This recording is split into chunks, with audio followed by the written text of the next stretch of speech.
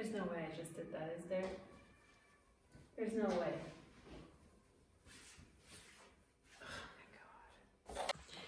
Hi y'all, Savannah here. I recently made my son a Hogwarts robe for his upcoming birthday party and I did it with absolutely no pattern. So I wanted to show you the process that I went through in order to make this. It was a process, that's to be sure. I made a lot of mistakes and I had to undo a lot of things. So I wanna help you avoid the things that I did that made this a lot harder than it needs to be for you. But if you are interested to see how to make a Hogwarts robe without a pattern for you or your children, stay tuned and we'll get right into that.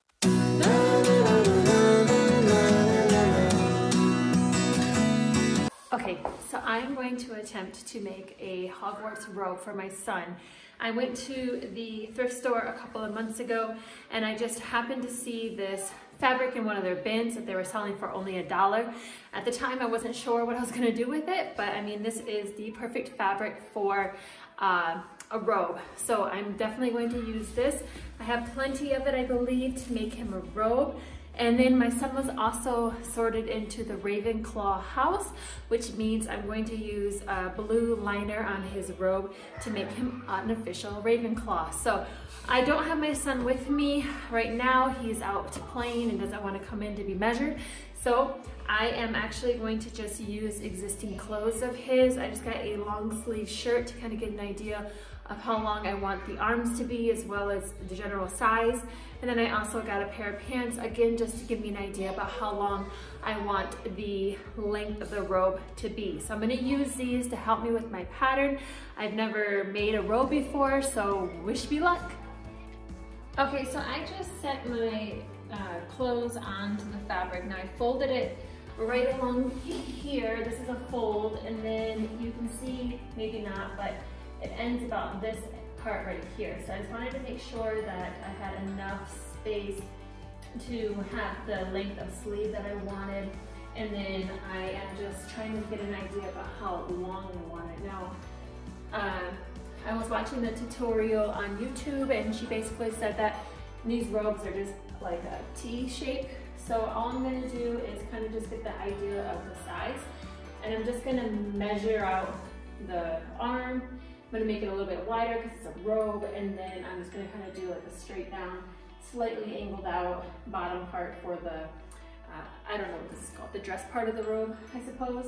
And then I've, uh, when I'm done cutting that out, I'm gonna use that as a pattern for the other part of the robe. So we have the front part and then the back part of the robe that we're gonna make. So um, let's get in, started on that. So I have a, just a ruler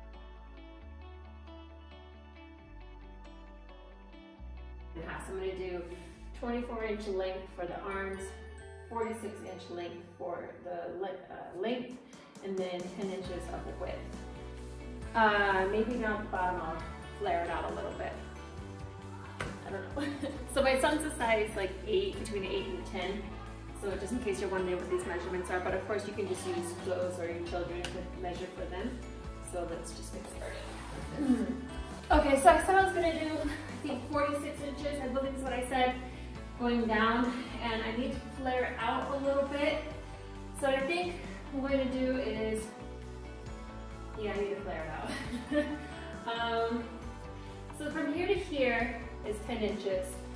So down here, around my 46 inch mark, which would be like right around, I don't mind me not doing very good measurements, but right around here, is about 46 inches. So I need to have this flare out just a little bit. So what I think I'm gonna do is I'm gonna measure about 12, maybe even 13 inches out, maybe even 14. I don't know, is that too much? I don't know, let's try 14. I think that'll be good. So we'll see.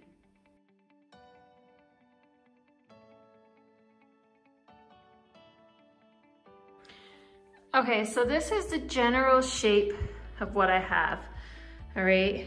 So I just have like a very square top part here and then coming down. So this is 24 inches across here. I came down 12 inches. I had went from the width from here to here is 10 inches and down at the very bottom, I made that width 14 inches down here. And then I just connected those two points there. So this is my shape. I'm gonna go ahead and cut it out and see how it looks.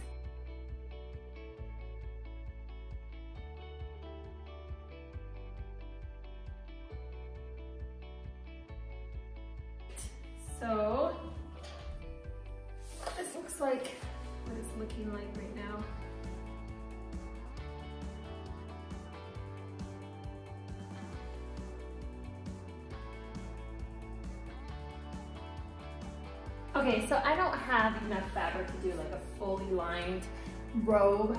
Um, so what I'm gonna do is I'm just going to line the front part of the robe and for the sleeves to kind of save fabric, I'm just gonna cut out a strip of blue and I'm just gonna sew those into the uh, seams in the sleeves so that I don't have to do the entire sleeve to, to line it. Uh, the only problem I'm having right now is my fabric, because of the way I cut it for a different project, is not long enough for my particular rope that I made. So I'm trying to figure out what I want to do down there. And I think what I'm just going to do is I'm just going to cut out, again, another strip of fabric and add it. And I'll have a little seam inside. But again, I'm not selling this. I'm just making it for my son for something fun. So I'm not too concerned with it. But all I'm going to do to kind of keep from accidentally cutting this sleeve portion out is I'm going to, sorry, I don't know if you can see that. I am just folding this over and lining it up here. And then just gonna pin this down and cut it out. So let's do that.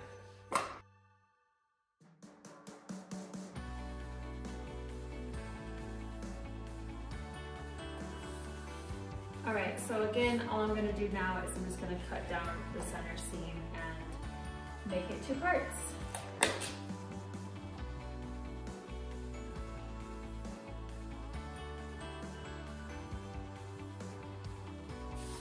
Okay, so all I'm gonna do now is I'm just gonna see how much extra fabric I need, get myself an extra half an inch for the seam allowance, and just cut out a couple pieces for that. You see this might be a good little section to cut from.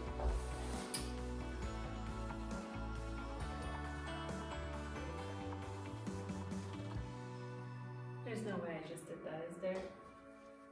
There's no way. Oh my god. All right, you guys, you won't believe what I did. So in order to try to get the pieces that I needed to add more length to the bottom of my um, liner, I just really not paying attention. I grabbed one of my liner pieces and totally just chopped it to pieces. And now I'm like struggling to have enough fabric to try to cut another liner piece out. And I don't know if I'm gonna have enough for my hood. Like, how do you do that?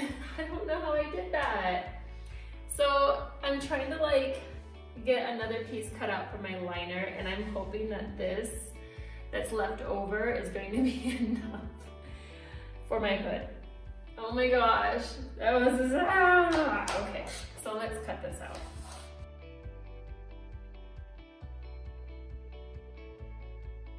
then I need to also use scrap and not my liner piece. I need to make the uh, sleeves. So I wanna make this partially lined here. So I wanna make sure that it's long enough and wide enough, but I'm gonna need four of those because I'm gonna need it for the front and the back, otherwise it'll look kind of funny, right? Okay, so here's one of my sleeves. And again, I'm gonna have to like hem part of this to kind of keep the raw edges from being a thing, but uh, it probably would be easier to line it if it was like a fully lined one, but it does take a lot more fabric. Okay, so because I didn't have very much fabric left since I made that mistake, I, um, I'm trying to do like a hood shape and I looked at a tutorial on YouTube, but I'm cutting the size down by four inches. The tutorial was for an adult size rope, so I'm hoping that it's not gonna affect it too much. So I'm gonna show you what I did. So I did a line across the top here that was 19 inches across. And then from there to here was 10 inches. And then from here to here is six and a half inches. And then I just connected the two lines, which ended up being about 15 inches. And now all I'm gonna do is I'm just gonna cut this out on this fabric and the black fabric as well. And then I think I'll have all my pieces and we'll be ready to sew. So all I'm doing right now is I'm just looking at where my seam is going to be because this part here is not going to be sewn into my actual uh, main fabric since it's going into the sleeve. I'm not going to actually um, be able to leave this as a raw edge. So I'm just going to mark off where this is and I'm going to just do a quick little zigzag stitch right here along this blue fabric to keep it from fraying, but you're not really gonna see it on the inside, so I'm not gonna do any like hemming, just nothing fancy. So I'm just gonna do a quick zigzag stitch along here up to this line that I just drew, and then I'm going to attach it. Okay, so you can see here, this is where I did the zigzag stitch, and it's on the opposite side of where my neckline is. And now I'm just gonna go ahead and attach this to my main fabric.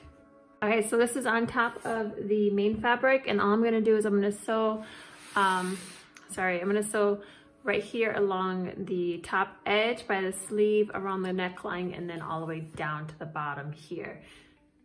Okay, so I have it sewn together. Um, you can see I flipped it right side out. And so since these are kind of fluffing out a little bit, all I'm gonna do is I'm just gonna top stitch right along those same edges that I just stitched uh, just to keep those nice and flat and pressed together like more like this and less like that.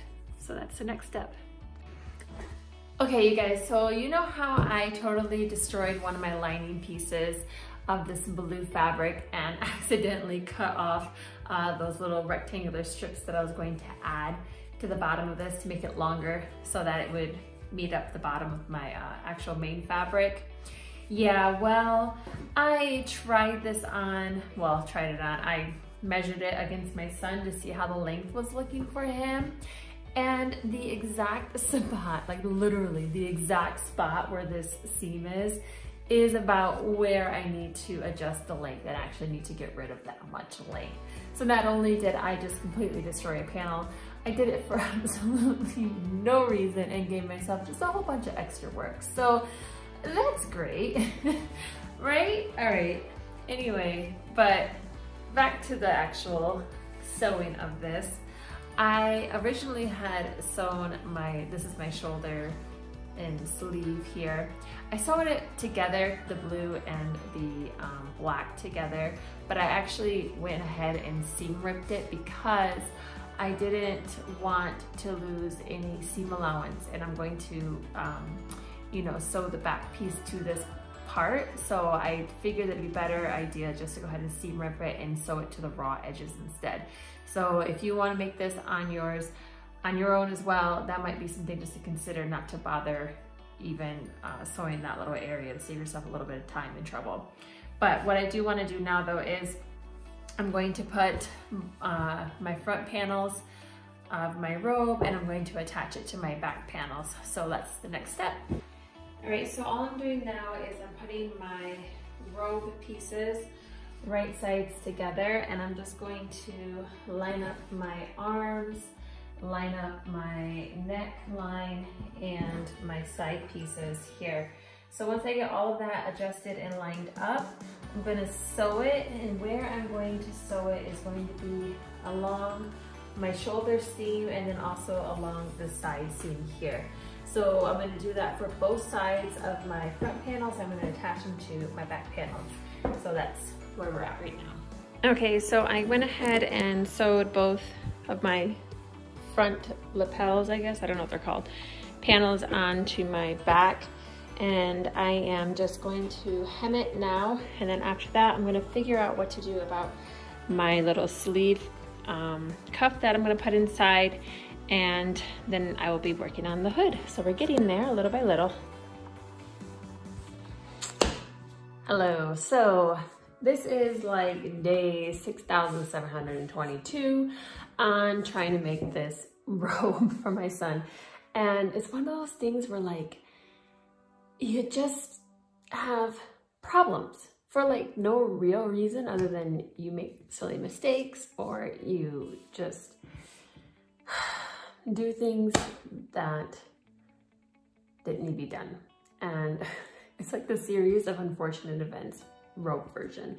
It has been a struggle making this and I'm still in the process of it. So like for this hood, now, you know when you see like tutorials and they kind of give you like a general idea of like, okay, this is what it looks like. And they'll give you like really detailed things like, this is how you should cut it out. This is the, the size of it.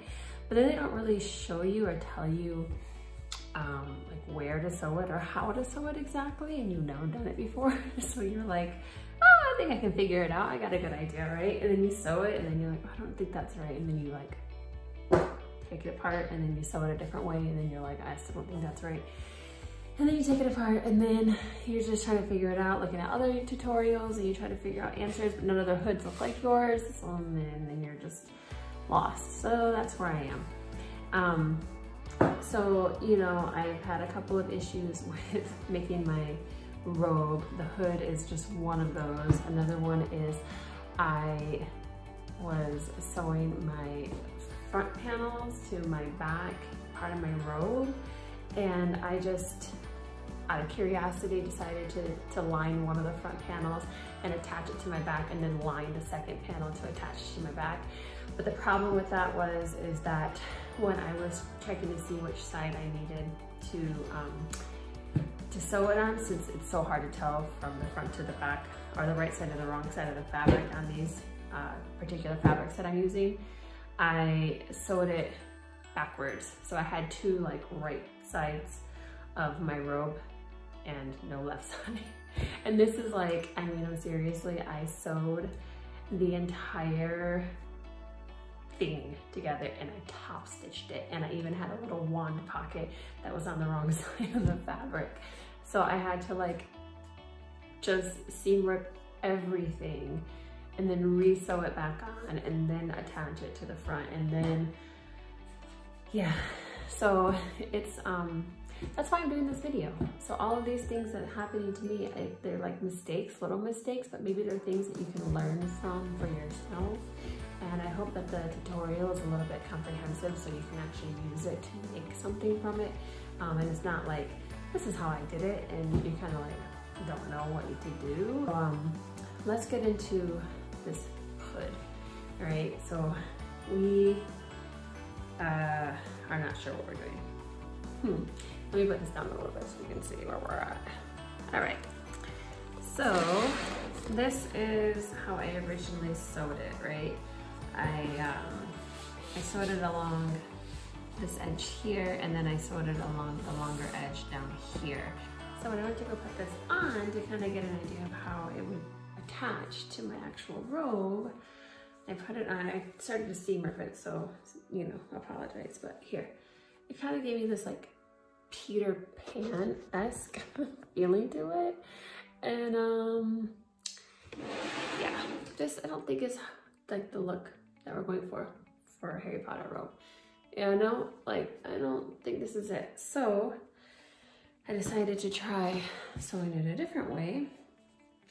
And I kind of got something more like a pointier hat. I don't know if this is what we're going for either, but when you like put it on, if I can put it on, it's like this. I don't know what's going on. And this is like I said for a kid's robe, so like, you know, my head's a lot bigger than the kids, but um, this is where we're at. So what I think I'm going to do, like if I attach it, here, right, to the robe, and it's gonna be lined. It probably won't actually be a usable hood, but it'll have that look to it, um, a little bit more of what we're looking for. So let me show you how I sewed this. I'm gonna sew the blue one the same way, and then I'm gonna line it. Um, and it's probably not, like I said, the most uh, amazing hood or whatever, but it's gonna be what I do for this particular project. So I don't have any more fabric to like recut out anything. So um, here, let me show you. Okay, so here is this, and so I went ahead and I sewed it along the long side, the same as the blue one, but I did it along this side as well. And this part here, which I originally thought was my center seam, I left open. And so when I flip it inside out, like I just saw, I'm not gonna do it all the way, but here, um, you'll see this part here kind of has like a, a V shape to it. And then this is the other, um, the other edge that's not sewn. So what I think I'm going to do when I attach it is I'm going to just attach this part here to my robe and this here will be where my liner will get sewn to. So I'll attach my lining there, I'll go all the way around and then we'll sew this to the actual robe that way. So um, I don't know if this is the right way to do it, but it's trial and error at this point. We're figuring it out together and I still have to do this and I have to do my other sleeve lining. And after that, I think that'll be it and we'll be ready to go. Oh. Okay, you guys, so I went ahead and sewed it the way I said I was going to, and now I'm attaching the liner to the outside piece. There is another way of doing this, but I just felt like the simplest way was just to kind of fold under the raw edges, and then I'm just gonna top stitch around this edge. And I'm gonna do it from here all the way to here, and then this little area is where I'm going to attach it to my robe. Okay, you guys, and this is how it turned out. Now, I'm modeling this just because I don't want to have any issues with my son being on YouTube. And so it's a little bit short on my sleeves, but I think it turned out even with all the trouble that I had making it. I went ahead and made a little Ravenclaw patch. I put in a wand pocket in the inside, and I just had a lot of fun with it uh, after it was all done. so if you want to make a robe like this for yourself, I would suggest finding a different hood tutorial just to make it not look so funny, but overall it turned out really well. Alright you guys, if you like these types of videos, make sure to subscribe, leave me a like or comment below. I try to make two videos a week.